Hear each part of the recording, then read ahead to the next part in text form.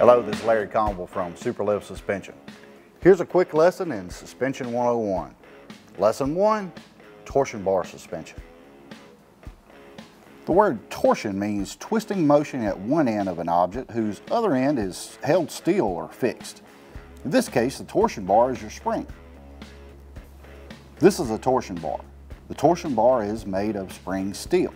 It runs longitudinally or lengthways of the vehicle. It attaches to the lower A-arm at the front and attaches to the torsion bar key mount at the chassis mount or at the cross member.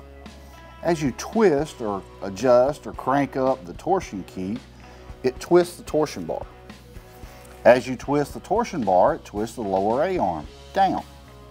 Because the upper and lower control arms are connected at the knuckle, they both twist.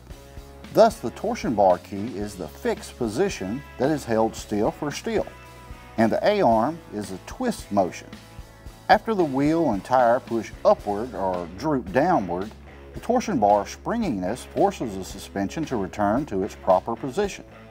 Make sure you adjust the torsion bar to the proper height or you'll create a bind at the front ball joint.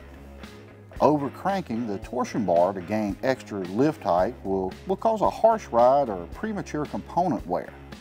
That was a quick and easy lesson. If you have any questions about Superlift products, go to superlift.com or just give us a call. You can also check out the live chat that we have now available at superlift.com.